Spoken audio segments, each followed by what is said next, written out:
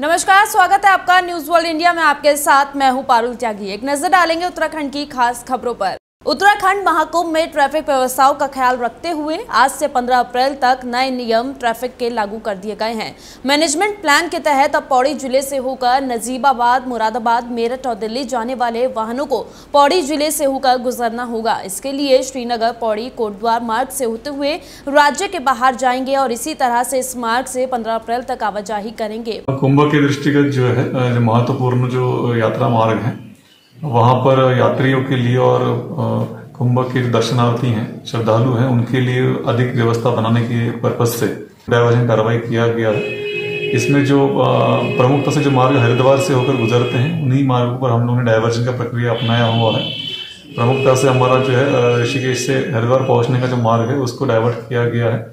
समस्त सूचनाएँ जो है, हम लोगों ने प्रमुख मार्गों पर आवश्यक जो चौराहे होंगे, वहाँ पर प्रदर्शित कर दिया है। साथ में उसकी सूचना अखबार के माध्यम से भी पुलिस विभाग द्वारा जारी की जा रही है। सूचना उसकी संबंधित व्यक्ति तक पहुँच पहुँच पहुँच जाएगी ऐसा हम लोग उसका अपेक्षा कर रहे हैं। साथ में सभी व्हाट्सएप ग्रुप्स के माध्यम से और मीडिया के प्रतिनिधियों को भी इसकी सूचना हमारे सूचना विभाग के माध्यम से उपलब्ध करा दिया गया है।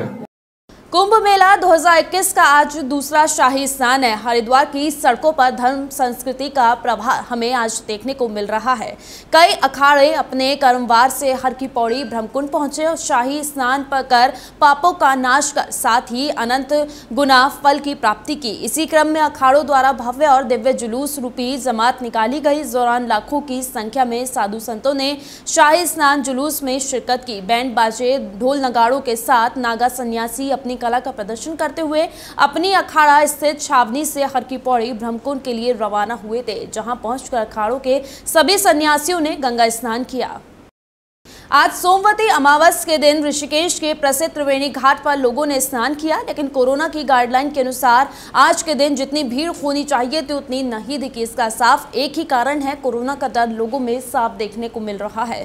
प्रशासन ने सभी तैयारियाँ अच्छे ढंग से की और जगह जगह पुलिस के जवान भी तैनात किए हुए हैं। प्रशासन के द्वारा कोविड की जाँच में के केंद्र भी बनाए हुए हैं, जहाँ पर कोरोना का टेस्ट भी किया जा रहा है। और अगर किसी को भी किसी बीमारी की वजह से कोई दिक्कत होती है तो उसका भी उनका इलाज वहीं घाट पर करने का पूरा इंतज़ाम किया गया है। त्रिवेणी घाट पर देव डोलियों का स्नान भी हुआ। राज राजेश्वरी माता और सेम नागराज की डोलिया गंगा स्नान के लिए त्रिवेणी घाट पर पहुँची। त्रिवेणी घाट पर डोलियों के द्वारा नृत्य कर गंगा में स्नान किया गया। उसके बाद उनकी पूजा अर्चना के बाद उनके गंतव्य तक ले जाने के लिए तैयार भी किया गया। यहाँ से जाने के बाद माता कल से चैत्र नवरात्रों के लिए मंदिरों में विराजमान हो जाएँगी। यहाँ बहुत बढ़िया लग रहा है। कोरोना की वजह से थोड़ी सख्ती ज़्यादा है, जिस वजह से भीड़ भाड़ कम है और बाकी इंतज़ाम प्रशासन के बहुत अच्छे हैं और सब अपना नियम का पालन कर रहे हैं और अच्छा है, सब सोमवती चैती अमावस पर जगत गुरु रामा अनुज आचार्य कृष्ण आचार्य श्री महाराज ने अपनी जगत गुरु होने की चौबीसवीं वर्षगांठ मनाते हुए आज त्रिवेणी घाट पर एक कलश यात्रा के साथ आकर 108 कलश जो चांदी के बने हुए थे, उनके साथ गंगा पर उनका अभिषेक हुआ और उनके अनुयायी सबने मिलकर उनका अभिषेक किया। आज से 24 साल पहले कृष्ण आचार्य जी महाराज को जगत गुरु की उपाधि संतों द्वारा दी गई थी। साथ ही छड़ी और चवर उसकी निशानी है। इस उपलक्ष्य में आज कलश यात्रा निकाली गई। कलश यात्रा में नगर निगम की मेयर भी शामिल हुई। उन्होंने भी कलश सर पर रखकर यात्रा की। पौड़ी ज़िले में जंगलों में लगी आग की घटनाएँ थमने का नाम नहीं ले रही हैं। यहाँ ज़िले के नैनी डांडा ब्लॉक में तीन मवेशी आग की चपेट में आकर जलकर खाक हो गए, जिससे इनकी दर्दनाक मौत पल भर में हो गई, जबकि अन्य तीन मवेशियों को किसी तरह से आग की लपटों से बचा लिया गया। इस घटना में मवेशियों के मालिक निराश है। उन्होंने बताया कि जंगलों में लगी आग सड़क से होकर मानवीय बस्तियों की तरफ़ अब पहुँच गई है, जिससे किसी पर भी किसी तरह से काबू पाया गया है, लेकिन विकराल रूप वाली आग ने उनके मवेशी नहीं बच पाए हैं। वहीं मवेशियों के मालिक और ग्रामीणों ने वन विभाग से अपील की है कि जंगलों में जो आग की घटनाएँ लगातार बढ़ रही हैं, असामाजिक व्यक्तियों पर पैनी नज़र जो है रखी जाए। ये आग की जो घटनाएँ होती हैं कहीं पर घटना होती है तो उसके बाद वो काफ़ी देर बाद पता चलता है। जब तक आदमी वहाँ तक पहुँचता है तो यदि किसी ने खुरापात की है, लगाई है तो वो पकड़ में नहीं आ पाता। फिर भी जो है, वन विभाग जो है, लगातार कोशिश करता है कि कोई पकड़ में आए तो उन पर सख्त से सख्त कार्रवाई जो है, वन नियम के तहत की जाएगी। हल्द्वानी के मंगल पड़ाव पुलिस ने एक स्मैक तस्कर को गिरफ़्तार किया है, जिसके कब्जे से 55 ग्राम स्मैक भी बरामद की गई है। बता दें, पकड़े गए स्मैक की कीमत पाँच लाख रुपए से ज़्यादा बताई जा रही है। पकड़ा गया आरोपी उद्यम सिंह नगर के किच्छा का रहने वाला है। तस्करी में इस्तेमाल की गई बाइक भी पुलिस ने बरामद की है। सीओ प्रमोद शाह ने बताया की चेकिंग अभियान के दौरान मंगल पड़ाव पुलिस ने देर रात एक युवक को रामलीला ग्राउंड के पास से गिरफ़्तार किया है। आरोपी की जब तलाश ली गई तो उसके कब्जे से पचपन ग्राम स्मैक भी बरामद हुई है। युवक ने अपना नाम हारून बताया, जो उद्यम सिंह नगर का रहने वाला है। उसने बताया कि वो स्मैक को उत्तर प्रदेश से लाकर हल्द्वानी में सप्लाई करता था। बताया जा रहा है कि आरोपी पिछले काफ़ी दिनों से पुलिस को तलाश थी उसकी। आरोपी के खिलाफ एनडीपीएस एक्ट के तहत मामला दर्ज कर कार्रवाई की जा रही है।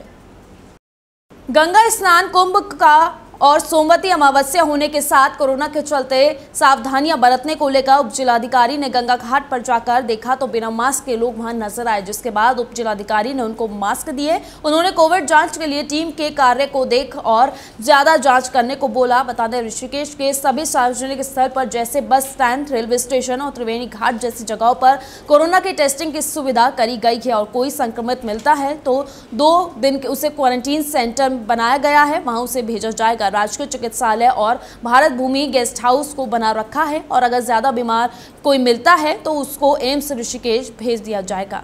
उत्तराखंड के जंगलों में लगी भीषण आग के पीछे शीतकाल बहुत कम हुई। बारिश भी एक बड़ी वजह है। मौसम विभाग के वैज्ञानिक रोहित थपियाल ने बताया कि विशेषकर इस साल जनवरी में से मार्च महीने तक सामान्य से कम बारिश हुई है। फरवरी, मार्च में सर्वाधिक कम बारिश हुई है। इससे अधिक मार्च महीने में तो 80 प्रतिशत कम बारिश हुई है, जिससे जंगलों में आग लगने की घटनाएँ तेज़ी से बढ़ रही हैं। आपको बता दें कि जंगलों में लगी आग से उत्तराखंड के हज़ारों हेक्टेयर जंगल जलकर खाक हो चुके हैं। आग को बुझाने के लिए केंद्र सरकार की ओर से भी सहयोग दिया जा रहा है। वहीं राज्य सरकार की ओर से भी जंगलों में लगी आग को रोकने के लिए भारी सुरक्षा बल को लगाया गया है।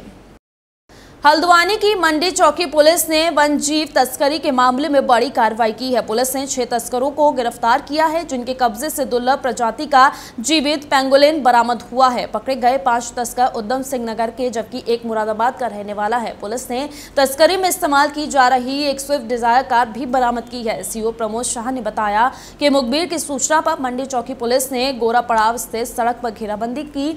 जब कार की तलाशी ली गई, उसमें दुर्लभ प्रजाति का पेंगोलिन जीव जीव रखा हुआ था। पूछताछ में आरोपियों ने बताया कि पेंगोलिन को उद्यम सिंह नगर के ढोरा डाम से पकड़ कर लाया गया था। दुर्लभ प्रजाति के पेंगोलिन की अंतर्राष्ट्रीय बाज़ार में काफ़ी डिमांड है, जिसको तस्कर बेचने की फिराक में थे बता दें, अंतर्राष्ट्रीय बाज़ार में इसकी कीमत अस्सी लाख रुपए से ज़्यादा की बताई जा रही है। वहीं पुलिस ने सुरक्षा की दृष्टि से वन जीव को वन विभाग के सुपुर्द कर दिया है। वहीं तिराई केंद्रीय वन प्रभाग की डीएफओ अभिलाषा सिंह का कहना है कि आरोपियों के खिलाफ वन जीव अधिनियम के तहत मुकदमा दर्ज कर कार्रवाई की जा रही है और बरामद पेंगोलिन को जंगल में छोड़ा जाएगा। पंतनगर सिडकुल के सेक्टर सात में दुर्गा फाइबर में अज्ञात कारणों के चलते भीषण आग लग गई, जिससे आसपास के क्षेत्र में हड़कम मच गया। मौके पर पहुँची अग्निशमन विभाग की गाड़ियाँ। आग बुझाने का उन्होंने प्रयास किया, लेकिन कई घंटों बाद भी आग पर काबू नहीं पाया गया। जानकारी के मुताबिक दुर्गा फाइबर में दोपहर करीब डेढ़ बजे ऊपरी मंजिल में अचानक धुआँ उठने लगा। धुआँ उठते देख जब तक कर्मचारी कुछ समझ पाते, अचानक आग बढ़ गई।